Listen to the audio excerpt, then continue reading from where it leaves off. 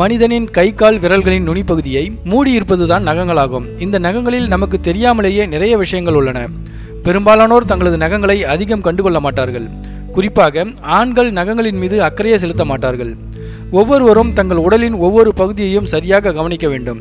ஏனெனில் ஒவ்வொன்றும் ஒன்றோடொன்று தொடர்புடையவை. இப்போது நாம் கை கால்களில் வளரும் நகங்களை பற்றி பலரும் அறியாத சில தகவல்களை பற்றி தெரிந்து கொள்வோம் கால்விரல் நகங்களை விட கைவிரல் நகங்களின் வளர்ச்சி வேகமாக இருக்கும்.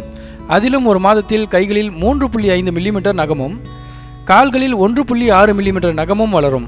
கைவிரல் நகங்களில் வெள்ளை நிற புள்ளிகள் வருவது பொதுவான ஒன்று. பலரும் இந்த வெள்ளை புள்ளிகள் கால்சியம் குறைபாட்டினால் ஏற்படுவதாக நினைக்கின்றனர்.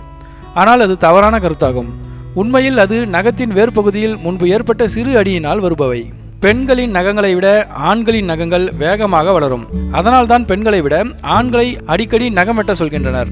நகங்களை கடிப்பதால் சரும நோய் தொற்றுகள் ஏற்படும்.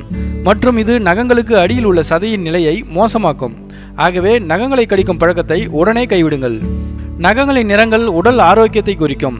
நகங்களின் நிறத்தை கொண்டு கூட உடலில் இருக்கும் பிரச்சனைகளை அறிந்து கொள்ள முடியும். எனவே உங்கள் நகத்தின் நிறம் திடீரென்று மாறினால் உடனே கவனியுங்கள். நாள்பட்ட மன அழுத்தம் உடலின் ஆற்றலை பாதித்து வளரும் நகங்கள் மற்றும் முடிகளுக்கு போதிய ஊட்டச்சத்துக்கள் கிடைக்கப் பெறாமல் தடுத்து அவற்றில் பாதிப்புகளை உண்டாக்குவதாக ஆராய்ச்சியாளர்கள் நிரூபித்துள்ளனர். எனவே உங்கள் நகம் மற்றும் முடி ஆரோக்கியமாக இருக்க வேண்டுமானால் மன அழுத்தத்திலிருந்து விடுபடும் செயல்களில் ஈடுபடுங்கள். நகங்களின் வளர்ச்சி வெப்பநிலைக்கேற்ப வேறுபடும். உதாரணமாக கோடையில் நகங்கள் வேகமாகவும் குளிர்காலத்தில் மெதுவாகவும் வளரும். அதேபோல் இரவை விட பகலில் நகங்கள் வேகமாக வளரும் என்று ஆய்வுகள் தெரிவிக்கின்றன.